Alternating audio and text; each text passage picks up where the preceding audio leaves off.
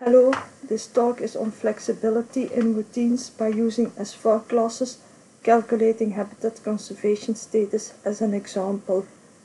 The focus will be on S4 classes and why and how we use them to uh, develop our package. The main aim of our package is to assess the quality of habitat types by scoring indicators which is based on applying a number of rules on our field data. How this is typically done for four examples I explain you in this uh, diagram. So on top you have our field data where we start from and then nodes and arrows indicate the different steps that have to be taken in each of the examples. Um, with different uh, shapes. In the nodes I represent uh, different operations that have to be performed. And actually the sequence of these uh, different operations is important. If the sequence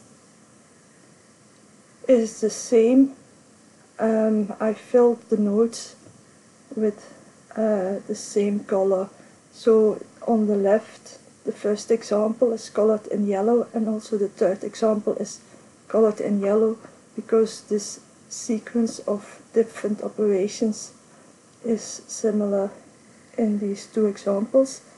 This means that the main code, code can be applied to derive uh, the scores from the field data. They are more or less the same because they still differ in uh, some parameters that are needed but of course in the code you can easily uh, tackle this by um, adding uh, variables. Second example, which is colored is in gray, is different from these two others because of the second step. And then on the right, the last example is partly colored in yellow and partly in green. the yellow part is um, the same as the yellow uh, examples so it has the same uh, sequence of steps but here one additional step is needed which is indicated in green. In total we have a large set of over 2000 of these rules they all have a similar structure um, except for some variation and in total we have actually 14 different variants whereas we had three in our example. And then as I mentioned even um, rules with a similar structure can have different parameters. Um, to develop our package we also had to keep in mind that in future new rules may be added to um, this set of rules. so um, the general schedule is rather straightforward. We have a function that takes the field data as a parameter and that gives the result. So the indicator with the scores to tackle the fact that we have uh, a lot of rules we added an SQLite database internally into the package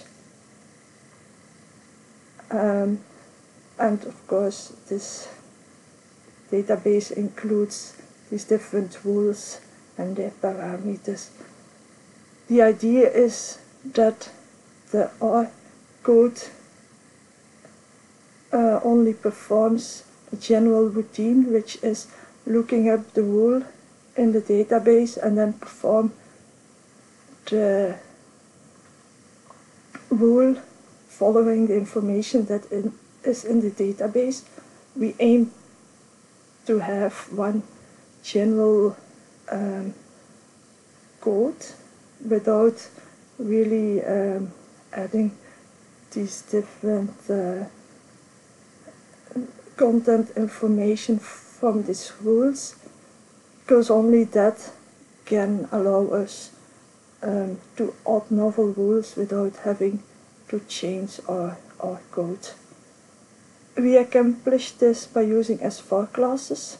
So S4 classes are inspired on object-oriented programming, which you find in languages such as Java and C Sharp.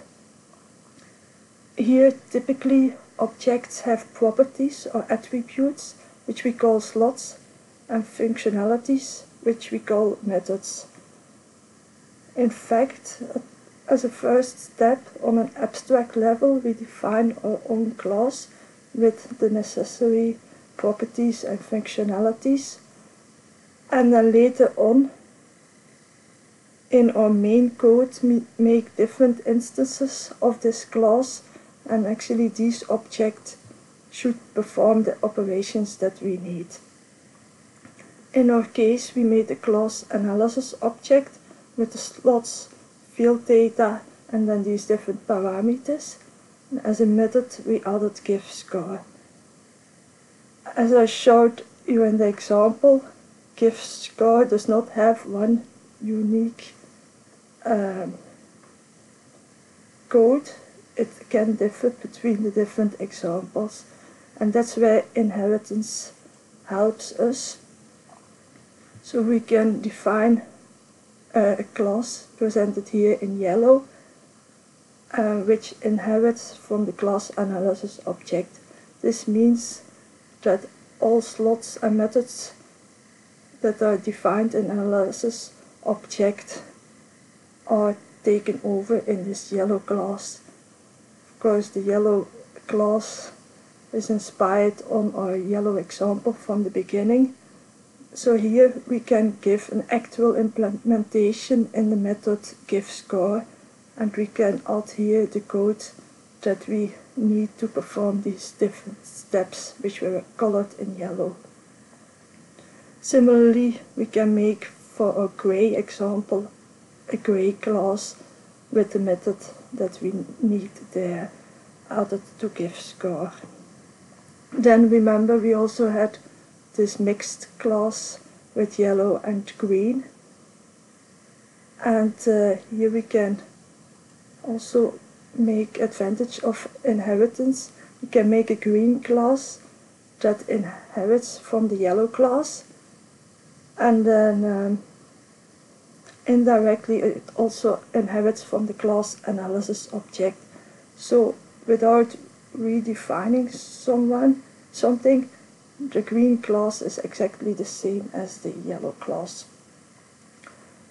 We could here just rewrite the method give score with some novel code.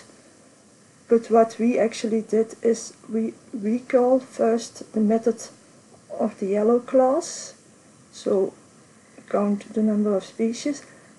And then actually we add the two steps that were colored in green from our first slide. So we compose in fact our code with a piece of code from the yellow and adding the piece of code from the green. As I mentioned in the beginning of this slide, in the class analysis object we don't we cannot add an actual implementation for the method give score because it's different on the inherited classes and because of that we don't want users to be able to make uh, an instance of the class analysis object. We can do this by defining analysis object as a virtual class. So by doing this we actually force the user to choose between the and yellow, the green and the gray class to make an actual object after he has made an object he can use methods from the virtual class analysis object. So Um, some advantages of S4 classes. It's possible to group different types of information into one object and write specific methods for the class of this object on the whole group of information that is in the object. An inheritance allows to adopt slots and methods from other classes so we don't have to copy pieces of code but just can take them over. Then virtual classes allow to write code that transcend actual implementations which we uh, needed and which was the aim to use these S4 classes in our case. Which I didn't cover yet in the previous slide is that an object is also validated. So when making an object, the data types given in the parameters of the object are checked with the um, data types that are defined in the slots of the classes and only if they meet the object will be created. This means that once an object is created um, you don't need any checkups in your methods which can save you a lot of coding. A disadvantage is of course that defining classes with slots and methods requires some specific code and you have to uh, make yourself familiar with it first. And another disadvantages of S4 classes in R is that methods have to be defined apart from the class with slots in this case. This is actually different from uh, the typical object-oriented programming languages where a class including slots and methods has to be defined in one uh, function-like block of code. So for S4 classes, this is not the case and it's really recommended for clarity to group the class and method definitions together in one file. What about user friendliness? Well, a developer often writes a constructor, which is a regular function that envelopes the making of a new instance of an object. Um, yeah, applying a method on an object of a S4 class is actually just the same as using a regular function. So this means when a constructor is defined, um, from the user perspective, um, working with S4 classes is exactly the same as working with a regular function. Uh, so the type of coding that he has used of.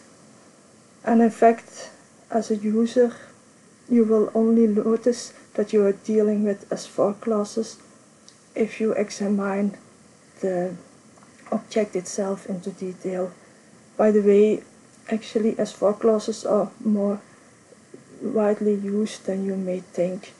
Uh, some examples of packages are LME4, Matrix, DBI, and then uh, a lot of packages with spatial objects such as SP and raster. So to sum up, we automated the assessment of conservation status by a routine consulting rules in a database and by using S4 classes. Here defining a class allowed us to group different parameters in one object. Inheritance helped us to deal with variation in structure and the virtual class helped us to integrate these different rules into one workflow.